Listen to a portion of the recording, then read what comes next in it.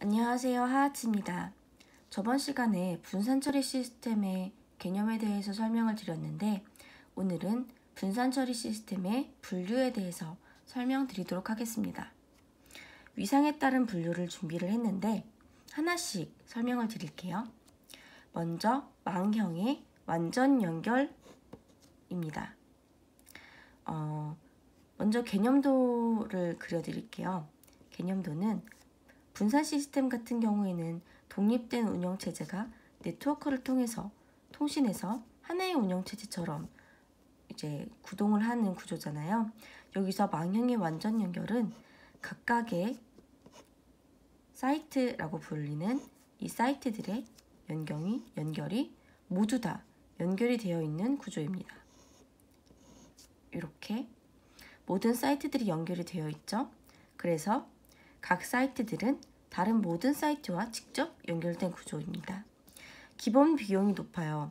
모든 사이트들을 기존에 다 연결을 하고 시작하기 때문이죠. 하지만 각 사이트가 직접 연결되어서 메시지가 빠르게 연결되고 통신 비용이 낮다는 특징을 가지고 있습니다. 그래서 하나의 링크에서 고장이 발생을 하더라도 다른 링크를 이용할 수 있기 때문에 신뢰성이 높은 특징을 가지고 있습니다. 그 다음에 똑같은 망형인데 부분 연결된 망형이에요. 개념도를 그리면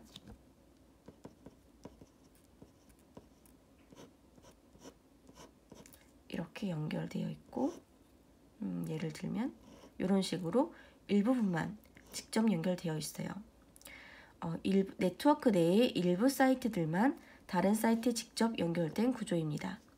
기본 비용이 완전 연결과 비교했을 때는 저렴하고 통신 비용은 당연히 상대적으로 높겠죠. 완전 연결 구조보다 신뢰성이 조금 낮습니다. 그 다음에는 계층형 구조예요. 계층형 구조는 어, 사이트들이 이렇게 연결되어 있는데 이런 식으로 트리 구조로 연결되어 있습니다. 설명에서도 사이트들이 트리 형태로 연결되어 있고 루트, 얘가 루트겠죠? 그 다음에 sub 사이트가 존재하는 구조입니다. 기본 비용은 부분 연결 구조보다 적지만 기본 비용이 얘보다는 적어요. 하지만 통신 비용은 트리 깊이에 비례합니다. 트리가 계속 내려가면 내려갈수록 통신 비용이 증가합니다. 그리고 고장 같은 경우에는 마지막 단, 그러니까 2단의 고장이 아니고 만약 여기서 고장이 발생을 했어요. 그러면 이 밑에 하위단에 있는 서비트, subtree 전체의 통신이 불가합니다. 그 다음은 스타형입니다. 스타형은 중간에 어, 중앙 사이트가 있고 그 다음에 이렇게 sub 사이트들이 연결되어 있는 구조예요. 내용을 보시면 모두 각 사이트가 중앙 사이트에 연결이 되고 모든 통신은 중앙 사이트를 통해서 처리됩니다. 기본 비용은 사이트 수에 비례하고 통신 비용은 적습니다. 그런데 중앙 사이트에 장애가 발생하거나 과부하가 발생될 때는 전체 시스템이 마비됩니다. 이 중앙 사이트를 통해서 통, 통제가 되기 때문에 이 중앙 사이트가 고장이 나게 되면 모든 전체 통신이 마비돼요. 그리고 중앙이 아닌 사이트의 고장, 만약에 이 사이트가 고장이 났다고 해도 다른 사이트들은 통신이 되기 때문에 전체에 영향을 주지 않습니다. 그 다음에는 링형, 환형 구조예요.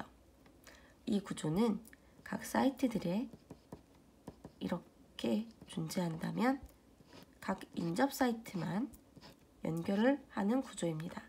그래서 설명을 보시면 각 사이트는 인접한 다른 두 사이트와 연결되어 있는 구조고 정보는 단방향 또는 일방향으로 전달이 됩니다. 이렇게 전달이 되거나 이렇게 정보 전달이 되거나 기본 비용은 사이트 수에 비례하고 데이터가 링을 순환할 경우 통신 비용은 증가합니다. 특정 사이트에 고장이 발생하면 이 사이트도 통신이 안 되고 인접한 사이트에만 영향을 받을 수 있습니다. 그 다음 마지막으로 다중 접근 버스 연결형입니다. 음, 설명을 먼저 드릴게요. 시스템 내의 모든 사이트는 공유 버스에 연결되어 있어요. 구조를 보면 이렇게 공유 버스가 있고 이 버스의 사이트들이 아이고 네 이렇게 하나의 버스에 여러 사이트들이 연결되어 있는 구조입니다. 기본 비용은 사이트 수에 비례하고 통신 비용은 저렴합니다. 그런데 한 시점에 하나의 전송만이 가능하며 버스 사용을 위해서 경쟁이 발생. 이 시스템도 버스를 사용해야 되고 이 시스템도 동시에 버스를 사용해야 할 때 성능이 저하될 수 있습니다. 물리적인 구조가 간단하고 사이트 증설과 삭제가 단순해요. 어, 그런데 사이트에 문제가 발생했을 때 다른 사이트는 영향을 받지 않지만 만약에 이 버스에 문제가 발생했을 때는 전체 시스템이 마비된다는 특징을 가지고 있습니다. 이렇게 위상에 따른 분산 처리 시스템의 분류를 알아봤고 그 다음에 다음에 저희는 분산 파일 시스템에 대해서 알아보도록 하겠습니다. 분산 파일 시스템이란 여러 위치에 분산되어 있는 서버, 장치, 사용자에게 파일 서비스를 제공하는 시스템으로 서로 다른 사용자 간에 정보를 쉽게 공유할 수 있게 합니다.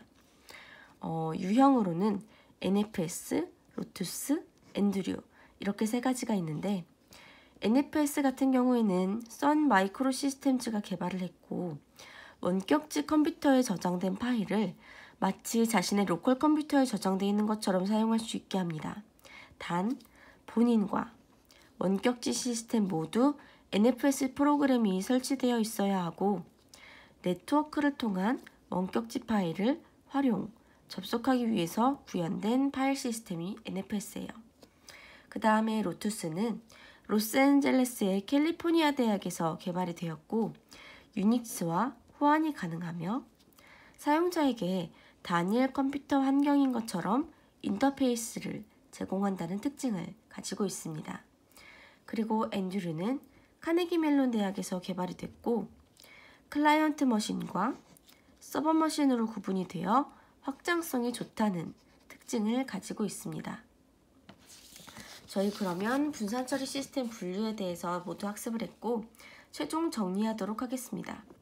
먼저 위상에 따른 분류는 완전 연결, 개념도를 머릿속에 그리시면 될 것 같아요. 완결, 완결, 완전 연결, 부분 연결, 계층형, 스타형, 링형, 다중버스 연결이 있었고 분산 파일 처리 시스템은 NFS, 로, LOCUS, 그 다음에 Andrew 이렇게 분류가 있었으니 각각의 특징에 대해서 학습하시면 될 것 같습니다. 감사합니다.